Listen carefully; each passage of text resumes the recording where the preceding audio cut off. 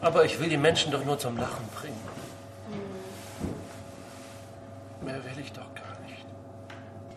Ja, bitte. Seht mal her, ein Clown. Wo du schon mal hier bist, mach mal ein paar Kunststückchen für uns. Mensch, was willst du? Lass mich das mal in Ruhe. Alter. Ich will nicht eure Witzfigur. Was ist das denn? Komm, mach das normal.